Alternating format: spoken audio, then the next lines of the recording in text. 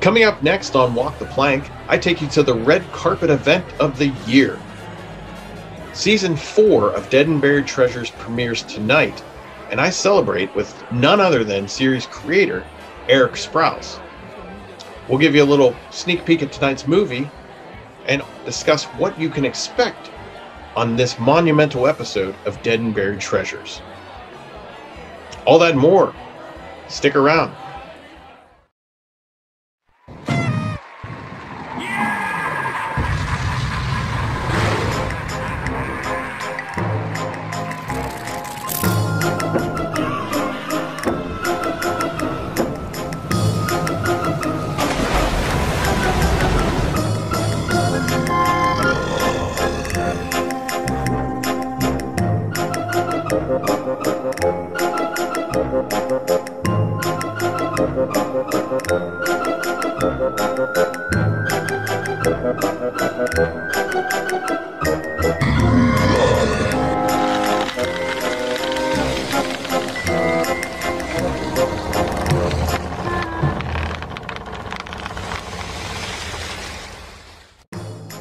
Tonight's episode of Walk the Plank is sponsored by Bella Sposa Bridal Prom and Tux.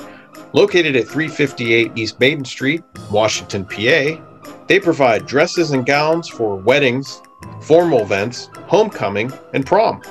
Their boutique also offers accessories, jewelry, and shoes. And for the men, Bella Sposa offers a complete line of tuxedos, suits, accessories, and shoes. Bella Sposa Bridal Prom and Tux. We're live on the red carpet for the third year, fourth season of Dead and Buried Treasures. And joining me is the superstar Bond look-alike himself, Mr. Erik Sprowls. I appreciate that, Rich. I wouldn't have said Bond. I would have said more like, "Can you get me another iced tea?" but hey, I'll take James Bond. I'll take it. Yeah. So this is this is a monumental moment. We're uh, dressed in the proper attire, which I got to say, Yep. uh, we look pretty darn good. Yeah, it's kind of fun. We're out here on the red carpet getting ready for the big anniversary show in what is it, less than uh, 28 minutes now. And uh, how's it going? Yeah, we're, we're doing a show. See, if I can keep his attention long enough to do this show. Right. You know, it's kind of funny because people look at us one of two ways. Either who are those losers who can't get into their own anniversary show in a half an hour when the doors open, or um, ooh, they're on the red carpet. I wonder if there's anybody famous other than those two lunkheads. but it's going to be a fun night. hmm I'm, I'm looking forward to it. And, uh, you know, we do have someone to thank for how good we look. It's uh, Lori and Kevin over at uh, Bella Sposa Bridal Prom and Tux provided the wardrobe tonight. Looking good. They're uh, they're actually located in Washington, PA, right on Maid, East Maiden Street. So uh, make sure you uh, look them up on Facebook so you can look as good as we do. Yeah, Kevin did a great job hooking us up. We do look very debonair tonight. This is probably the only time that I ever look debonair. Most of the time, with the, the whole pandemic going on, I spend sitting in my chair in my underwear writing a script. but tonight, it's, uh, it's going to be different. Uh, we're on the red carpet. Uh, we're getting ready to meet all kinds of people tonight. Um, we're going to go behind the scenes of the show. You get a chance to tour of uh, episode 108 uh, of Dead and Buried Treasures when Rich, my cohort in crime, takes you into the Bat Cave. That's and uh, that'll be a lot of fun too. I know you're dying to get into that. I am because uh, I actually helped build that set. So I get to share with everyone some of the uh, set builds I've done, and you know, you get to actually get a better view of some of the things and props that were in the Batcave that you probably missed uh, watching the show. So that's going Right. to be exciting. That'll be a lot of fun. We get to go underwater with Mirabella, everybody's favorite mermaid, probably second favorite mermaid because Ariel always takes the top spot. I never let her forget that. We just clown around about that. She's going to take you to her uh, where she shoots uh, her parts of the show, and we put her together on the green screen. I get a chance to take you behind the scenes to where I work at the Dead and Buried Treasure Studios, where I can I'll introduce you to the uh, post production facilities. I'll get to show you the studio where all of the stuff is shot with Jack and Davy Bones and myself. How we do the costuming and makeup and things like that. And of course, we get to go to the island itself with Jasper, played by Christopher Presley, and he's going to take you behind the scenes on what it's like being Jasper for a day. And that's all tonight on the anniversary show. That's Plus right. Blue behind the scenes. We got so much stuff, Rich. We're gonna have so much stuff. We're gonna have to move out. and uh, you did forget one of the uh, fan favorite characters of the show, uh, Professor Gertie herself. She's uh, she's going to take you behind the scenes of uh, filming the next episode. So you're going to get a behind the scenes look at filming, uh, which would be season four, episode 2 coming up. So she starts.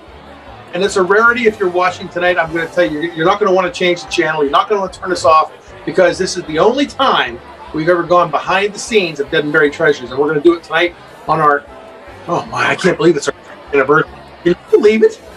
Three years? We're entering our fourth season. Yeah, three years has gone by pretty fast. I can't believe It really has. And, I, and we stayed up and running while the pandemic was around because we made a big change. We went from being together, like in the studio atmosphere, to uh, going to our respective homes. And I set up a studio here where I live, and you kind of set up a studio where you live, and we, we've made it happen. Uh, Mhm. But my goodness, I can't believe it's been three years, but it really has. We're entering our fourth season. We're setting sail, no pun intended, for our fourth season, and I can't, I just can't believe it. It'll be a lot of fun. Maybe It we'll will. have a great movie for tonight, Rich. Yes, we do have a great movie tonight. It's uh, the 1962 classic Carnival of Souls. Yeah, it's a good movie too. Uh, Carnival of Souls is one of the more popular um, uh, ghost stories to come out of the '60s. It's been traditional, uh, mostly. Mostly, here's the thing about public domain movies: because they are public domain, a lot of them are shown on college television stations. So a lot of people have had exposure to some of these movies, and not every movie that's in public domain is is horrible. I mean, this is a good one tonight. Um, and it's a good ghost story about three teenage girls who uh, uh, drive accidentally drive their car off of a bridge into a river, but only one emerges, and that's where all the "Ooh" starts. Uh, it's a good old-fashioned ghost story from beginning to end, and it is creepy. Hey, you want to drag, huh? Rev it up.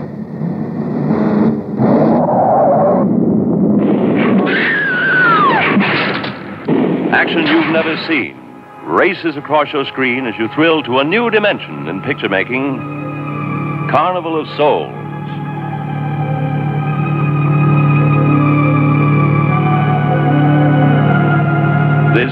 Shocking story of a who crawled from the river to race through a nightmare, walking a tightrope between heaven and hell.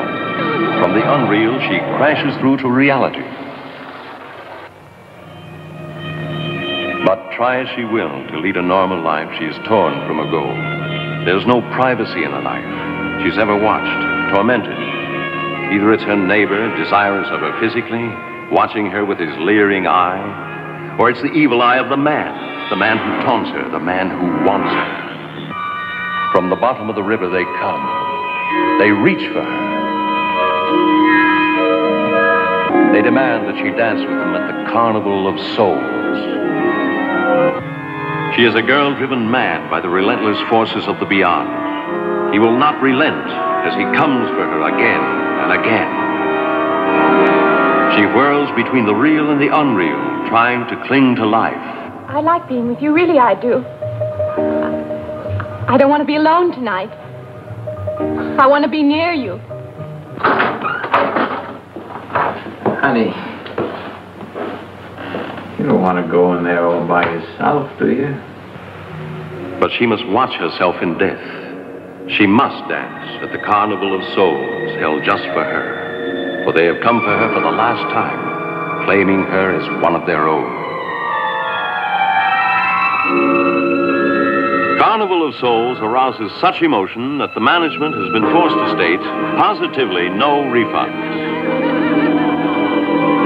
Carnival of Souls is the shocker of all time, guaranteed to sweep you into a new dimension of picture making. You can't afford to miss Carnival of Souls. Well, that looks spooky.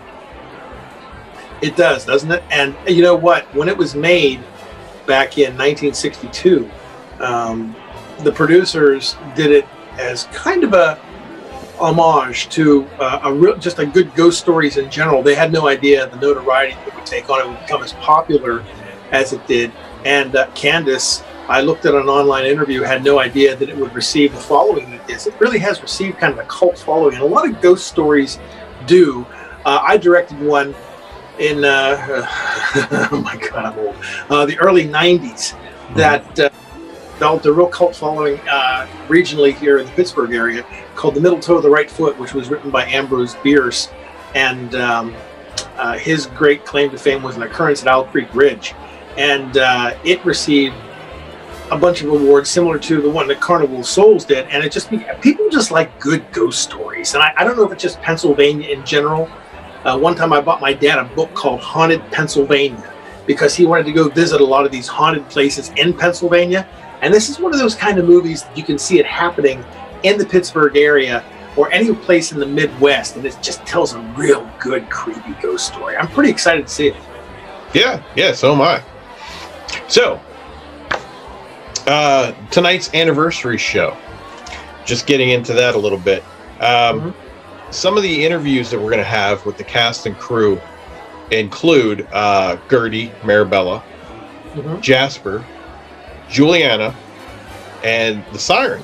And I'll obviously be there too because. Oh no! Uh, we're also uh, we're also being interviewing uh, uh, Adriana uh, Adriana Campbell, who plays the great great great great great great daughter of granddaughter of Calico Drake. She's actually going to be interviewed as well. That's great. So, yeah. along with the cast, uh, we're also going to have uh, some exclusive interviews with uh, affiliates that mm-hmm. Uh, show Dead and Buried Treasures on their their uh, television shows, and Rob Fleck, who runs and owns Phoenix oh, yeah. Comics and yeah. Toys. So, yeah, that's going to be great. And it was kind of nice too because the nice thing about tonight's show that's going to be different from all the other shows we've done is it, we go behind the scenes with you, me, uh, Professor Gertie, played by Dana Messino Kanji, played by, uh, uh, we go with Mirabella the Mermaid, who's played by uh, Aline Isley.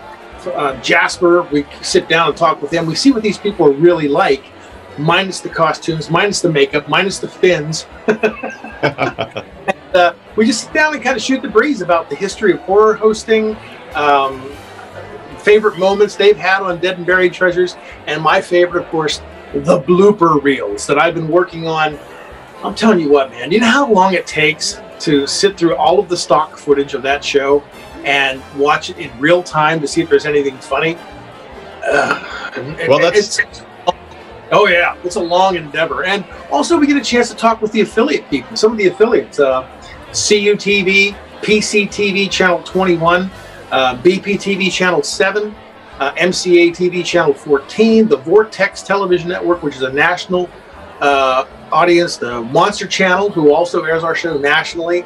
Uh, there's a lot of affiliates out there that uh, we air stuff on, and we get a chance to sit down with all their GMs and, and reps and talk with them about the show and how much they like having the show on the air. I love that. I like to hear the responses. Oh yeah, yeah. That's that's what's going to make this fun. Uh, no story involved. Don't worry. Uh, the next episode we'll we'll get back into uh, the mythology and stories. So, but uh, this one's just going to be a lot of fun. Deserves a bit of a break. He Calico Drake deserves a break. He does. That's right. And uh, don't forget, we're going to have an interview with you, the series creator and Calico Drake himself. Yeah, well, I do get a chance to sit down and talk with Calico Drake myself. That's me, series creator, and I sit down and talk with Calico Drake about what it's like being in charge of the Swashbuckler's haunt. Yeah. So that's going to be a lot of fun. I'm looking forward to the uh, behind the scenes tours, uh, you know, of everybody, all the work that they've put into this. Uh, you get to really see what it's like to uh, be part of a television show and how hard it is, the difficulties in in uh, filming because with everything changed now, you're not just going into a studio. These these people are filming from their homes and and also from studios down the street, uh, a library, I believe. Jasper, Yeah. uh, the caretaker. Uh, so that's going to be a lot of fun. Um, I'm sorry. Here, I'll kill some time while you're. I'll stall. Uh, Okay. We're out here, you know, a live red carpet premiere for the anniversary show, which is why we have a lot of distraction. That's true, and uh, I had somebody walk right up to me a few minutes ago and say, "Are you that guy that plays that pirate uh, Jack Sparrow?" I'm like, "No, no, I'm not Jack Sparrow." wrong, wrong I'm- pirate. Yeah, yeah, that's me. Yeah, that's me. That's me. Yeah, in Pirates of the Caribbean. My producer's in the back look. So, So yeah, uh, I- that's the whole part of being excited for the red carpet. You know, we're out here, we're just kind of getting ready for it, getting ready to open the doors and go inside and see what happens. Yeah, yeah. So, a uh, couple things here before I get to what I was just handed. Um, big news awards. On top of uh, the anniversary show, you have some nice announcements for uh, yet another award for uh, Dead and Buried Treasures. Yeah. Would you like to give yeah. anybody a teaser? What's that? Give anybody a teaser? Yeah, let's tease this. Uh, we're going to have a coming up tonight on the anniversary show. We're going to have the movie, of course. But during our cut-in segments, we're going to do a little bit of award stuff that's not quite like the show that you're used to. It's a chance for us to toot our own horn. And uh, that being said, the last couple of years have been really kind to us because uh, we won the uh, 2020 CMA Award for the best TV show produced in Pittsburgh. Uh, uh, there's some applause right now. Thank you. Thank you. and uh, then, uh, of course, the very first award we got was when the show was very first launched. I forgot to even mention to you, uh, BPTV gave us best best writing, best best episodic episodic moment in January of 20. Uh, that was, and of course, uh, I called that best writing. I don't know what else to call it. But then they said uh, they gave us the best TV series on BPTV. They gave us the best episodic moment again. So a couple other awards came in. Uh, the Golden Turkey Award uh, came to us uh, for the best horror host, and I guess that would go to yours truly. Although I don't like saying that because it makes it sound like I, I don't know. I, I just don't. I like to give it to the whole. well, I'm nothing without the cast and crew and you and, and Dana and the crew. So it was the best horror host award, and I appreciate it. I like getting it from the Vortex Network, um, but I really like to think of it as a team award. So I say Dead and Buried Treasures, not just Cal- Calico Drake. And uh, so we have some good things and good awards, and of course, two other awards, one of which you don't know about, that I just found out about today. Uh, a lot of these awards, and I'm going to tell you right now in a second, but put, put a pin in that. A lot of these awards, I've never nominated the show for. Somebody nominates us anonymously, or maybe it's the station uh, directors or something. But uh, and that's how we won the best series, the best uh, uh, horror host. I didn't even know we were getting. Uh, Sluggo over the Vortex Network surprised me one night and said, "Hey, you may want to tune in. There's something you gave to see." And I said, "What?" She says, "It's a surprise." They gave us the award. I didn't even know about it. So a lot of these awards, where I'm learning that you don't nominate yourself for, someone nominates you, and that's what happened with these last two awards. One of which you know of. We got a YouTube award for the best original show in 2020 uh, during the pandemic, and I thought that was big. So uh, we'll have that trophy tonight on the show. We'll have all the trophies tonight on the show, uh, except for one, and that's the Golden Turkey Award. They are still in the process of customizing it, but I'm told uh, it's uh, unique and it's a great big turkey made out of resin, and uh, we'll have that on an upcoming show. It's not quite ready yet; they're still putting it together. And the last award that we won, we won a Facebook award for the best original series presented in a video format on Facebook. And we'll have that award tonight on the show, too. So, a lot happening in the awards department, and I couldn't be happier.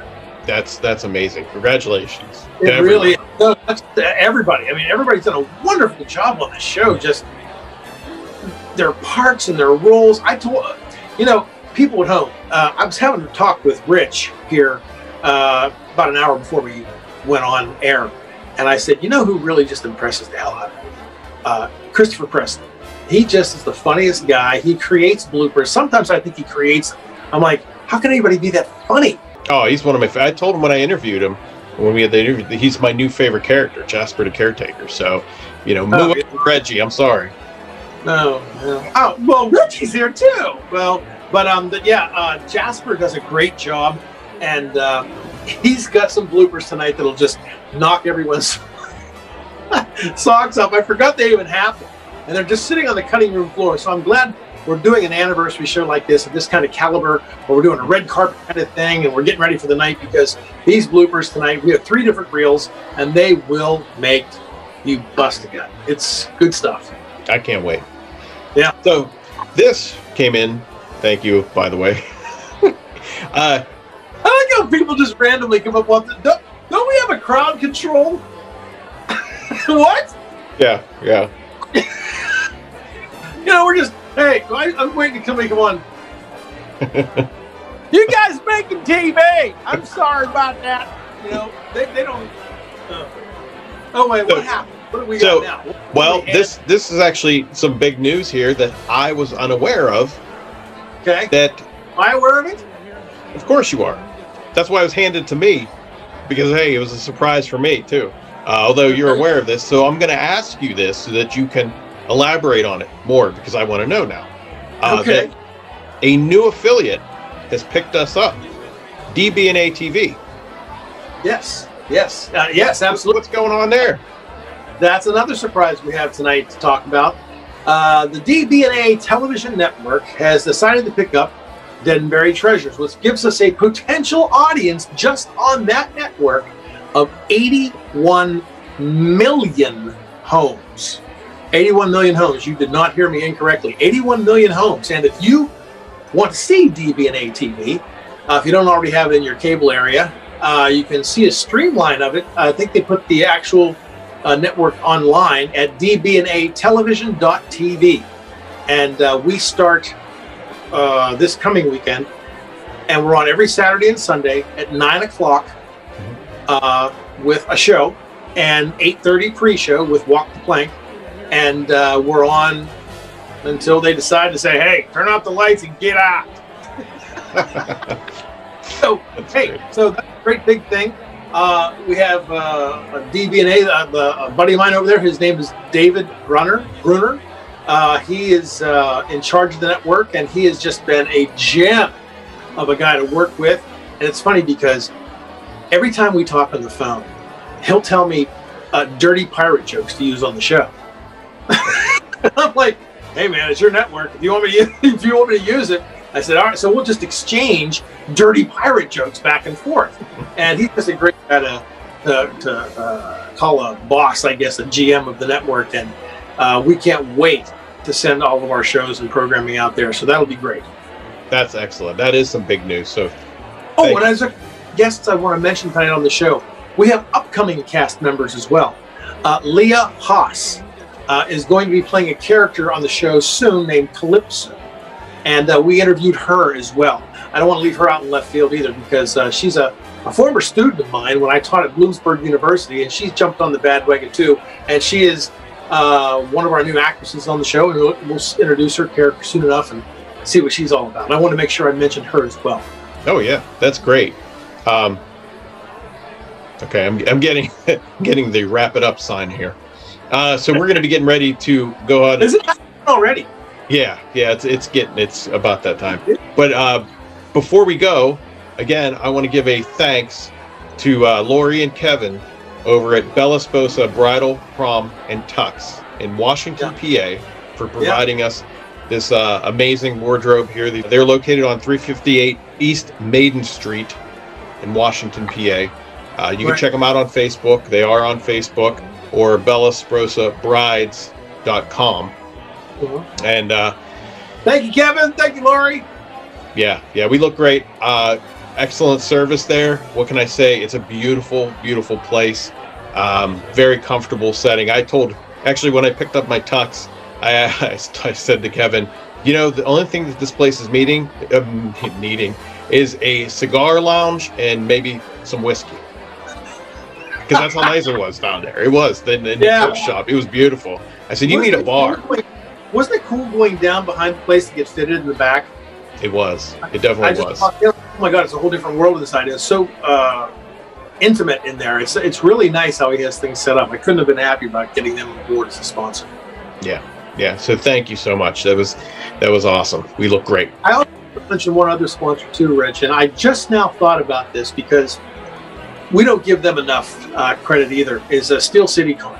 Mhm. Uh, they, they, we always seem to do an episode with them, and we put it on after the event. So if it's on somewhere around that area, I want to hype up a little bit on Steel City Con for helping us in the past, present, and future. I'm sure there'll be uh, another sponsor again for us uh, either for this episode or the next episode when we get back to a regular plot line. I wanted to make sure that we brought them in next. But uh, thank you again tonight for Bella Sposa, Bridal, Formal Wear, Kevin, Lori, and everybody else over there. They've done a great job for us tonight.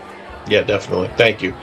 So we got to get going, and um, you guys enjoy the movie, enjoy the behind-the-scenes look, and the interviews for tonight's special anniversary It's been a it's been a great time on the red carpet, getting ready for this, hyping this for tonight. And I got to tell you, when I look like this, I feel like I look like that villain in the most dangerous game. You know what I mean? The, the got the billionaire madman on the island. Oh, I only hunt one thing.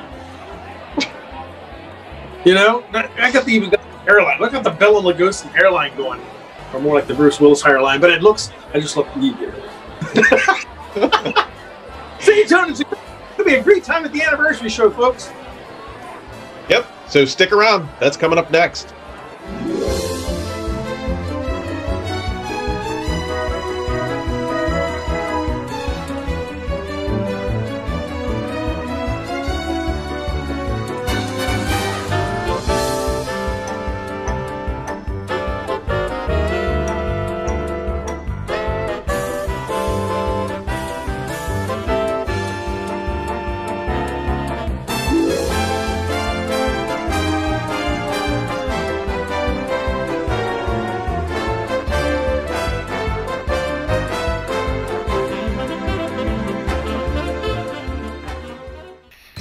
Listen up, mateys. Now you can get in on all the dead and buried treasures fun. We're grateful to see the show carried on its many affiliates, but there's been a lot of requests from viewers to see the pre-show and the after show, and not every channel can carry those shows due to time constraints. But now you can, simply by going to our Facebook page. By tuning in to see our pre-show Walk the Plank 30 minutes before Dead and Buried Treasures begins. And our after show, The Pirate's Booty, immediately following the end of the program. So, if Dead and Buried Treasures begins Mondays at 11:30 p.m., simply go to our Facebook page 30 minutes before at 11 o'clock to see Walk the Plank, our pre-show. Then, when Dead and Buried Treasures ends, go to our Facebook page once again to see our after show. Both where we take your calls, Facebook comments, emails, and queries about the show itself. And you can even speak with me, Captain Calico Drake.